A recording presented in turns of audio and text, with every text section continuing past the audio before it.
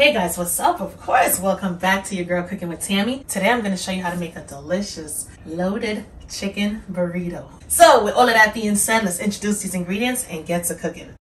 First thing on up is we have our chicken breast that's been washed, cleaned, and pat dried. We also have our rice. Of course, if you want to use any type of preferred rice, feel free to do so. If you want to use brown rice as a substitute, that's cool as well. We also have our Mexican cheese along with our fresh cilantro, jalapenos, limes, red onions, tomatoes, along with, let's see what we have in the background. We have some black beans and for our seasonings, we have the adobo seasoning, onion powder, garlic powder, taco seasoning, paprika, ground cumin, ground oregano, salt, ground black pepper, along with oil. We also have salsa, cheese, and in the background, hiding out, we have our guacamole. Last but not least, we have our tortilla. Can't have a burrito without that tortilla shell. So with all of that being said, let's get to cooking.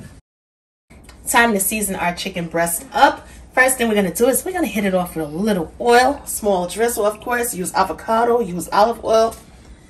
Either way, it's going to work perfectly. We're going to get in there. We're going to massage the oil on the chicken. Let's get the back as well. Front and back. All right. And we're to hit it off with a little adobo. Adobo is to give it that nice flavor. All right add enough. We're also to add our onion powder.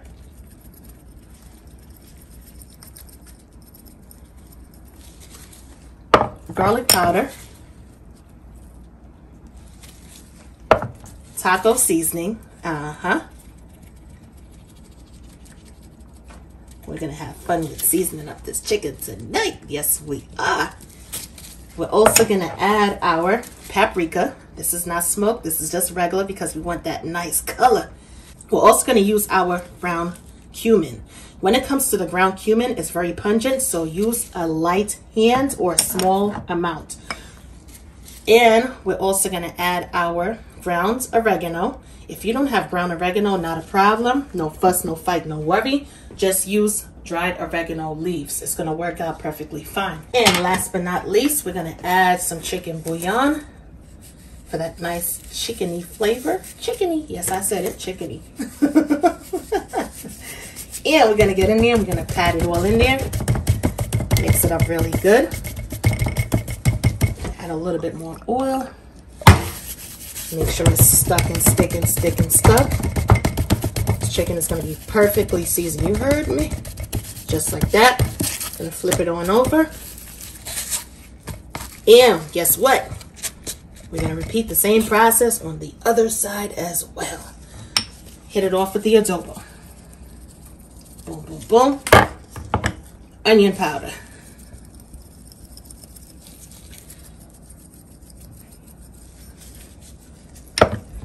Garlic powder.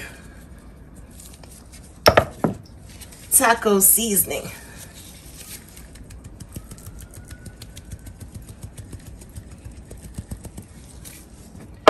paprika, ground cumin, ground oregano, chicken bouillon, and that's going to be our sodium right there, the chicken bouillon and the adobo. So we're not going to add any salt. And you know what? I want to add a little bit of ground black pepper as well. So we are going to add that. Chicken is ready to go. So we're going to put it off to the side for a moment. Our water has come to a rolling boil, so it's about that time. We're going to add a little pinch of salt to the water, give it some flavor. Just a little bit of oil. And we're going to add our rice. Remember the measurements. Two cups of water to one cup of rice. Give it a good mix halfway cover it on down because guess what? If you do this right here, it's a possibility. Once everything starts to come to a rolling boil once again, it's going to bubble on over and make such a mess. So the best thing is open it up halfway and you'll be good to go. Allow it to sit here and do its thing. In the meanwhile, we got some veggies to chop up because we got to make some, guess what? Pico de gallo. We're going to Take the stems off, place it to the side, and we need to focus solely on the cilantro leaves, all right? Roll it on up and get to chopping. Get in there some more. Chop it up really finely. And this cilantro right here is going to work not only for our rice, but we're also going to be using it for our pico as well. All right, that's perfect. We are going to work on dicing up these onions. For my pico de gallo, I love to use red onions. Yes, I do. This is a perfect size right here. Right, time to get in there, get that tomato. And by the way, guys, not because you don't see me washing off these veggies mean that they're not pre-washed. I want you guys to get into the habit. If you're not doing it already, if you're doing it already, then hey, you're doing your thing. Wash all of your veggies. Wash them off really good. I don't care if you got to wash it off in salt water to kill whatever, or even, let's say, some apple cider vinegar with water. Do your thing, but wash your veggies. Get all those pesticides and stuff off of the veggies. Alrighty. Let's dice these tomatoes one up. I like to use Roma tomatoes, but feel free to use whatever type of tomatoes you prefer. This right here is a good portion size. If I need more tomatoes in the end, of course, I'm going to get in there and chop some more up. All right. It's about that time. It's time to bring in the hot boy. All right. We are going to be chopping up this jalapeno right here. Yes, we are. And you know what? Let me put it right here. These seeds right here and the membrane is what contains all of the heat. So guess what? If we get in there and we remove it, we're going to have heat, yes, but we're not going to have as much, all right? Using a uh, gloved hand, remove it using gloves, some type of protection.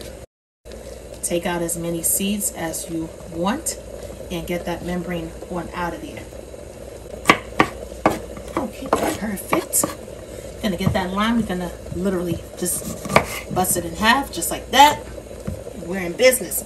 Pico de gallo is done. We're gonna add everything to a bowl and we're gonna incorporate it and we're gonna put it together. One, two, three. First thing we're gonna add to this bowl is our tomatoes, tomatoes, followed by our red onions, cilantro, and our jalapenos. The remaining half of the tomato, I ended up chopping it up and placing it in here as well. Check out the color contrast. How beautiful is that? Absolutely gorgeous. Place that lime up in there and get to squeezing.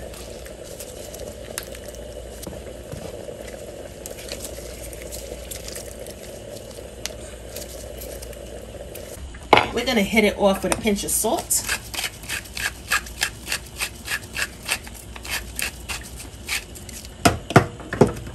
Give it a good mix. Nothing better than fresh pico de gallo. Mm -hmm. And we are done. All right. Gonna place this to the side as well. Our rice is finished. We have some excess water, so we're just gonna basically strain it on off, just like that. Remember, we need our rice to be dry because we're gonna add it to our tortilla at the end. And if it's wet, guess what? The tortilla is gonna be soggy. Make sure your rice looks just like this. To this rice, we are gonna add the cilantro right here. If you don't like cilantro, guys, you're missing out big time. All right, we're gonna add a fresh squeeze of lemon juice. What am I talking about? We're gonna add a fresh squeeze of lime juice, just like that.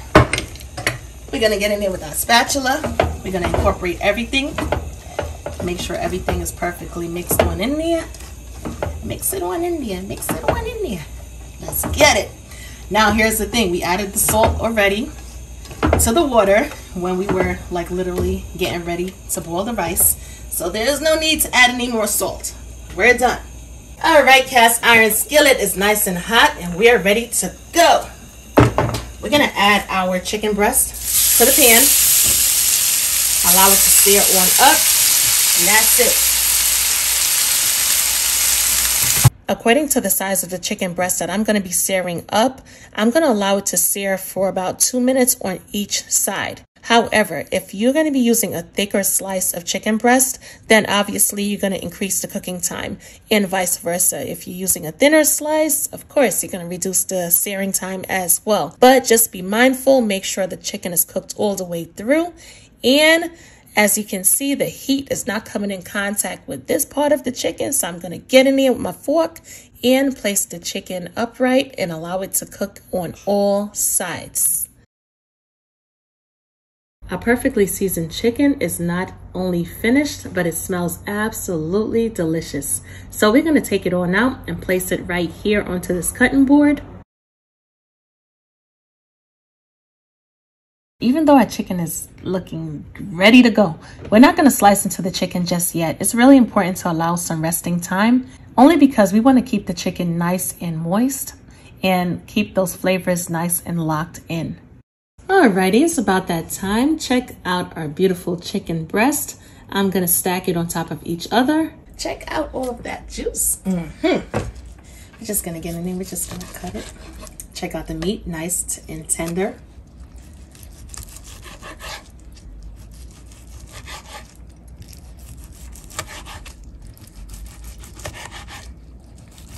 Mm -hmm. Trust me, I wish you guys could taste it on the spot. But you're going to make this recipe and you're going to definitely get to taste it at that point in time, all right? Anyway, we are going to heat our tortilla up. And I'm going to show you how to put this delicious loaded chicken burrito together. All right, guys, our pan is nice and hot, all right? So we're going to hit it with some oil because we don't want our tortilla sticking to the pan, all right? And once it's nice and hot, we are gonna add it just like that. And we're gonna heat it one up. All right, it's nice and hot. We're gonna get in there, flip it on over. Perfect, perfect. First thing we're gonna add is our rice. Add it to the middle, but not directly in the middle. All right, just like that.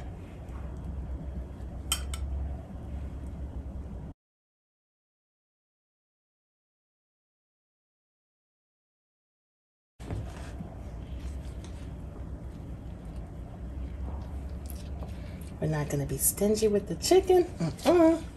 We're going to add some beans.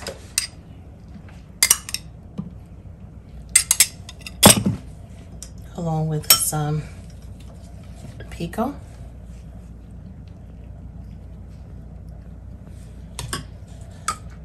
Some guac. And of course, we're going to add some salsa. Melted cheese. Mm -hmm. Some sour cream. And we're gonna add, we're gonna top it off with some Mexican style cheese as well. We're gonna get in there. We're gonna hold it just like that. We're gonna bring this on over, all right? Take your hands, bring it down, and we're gonna get to wrapping. Make sure all the sides are secured and locked. All right? And we're gonna wrap it just like that. And our burrito is done. Boom. Perfect. Now, for the fun part, we're gonna cut into it to see what it looks like. Yes, we are. Now, here's the thing, guys. One or two things. If you wanna like literally put it back in your pan to seal the sides, you can definitely do that as well. As a matter of fact, let's do that together.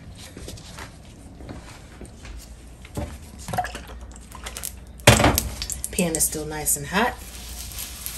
Add it just like that.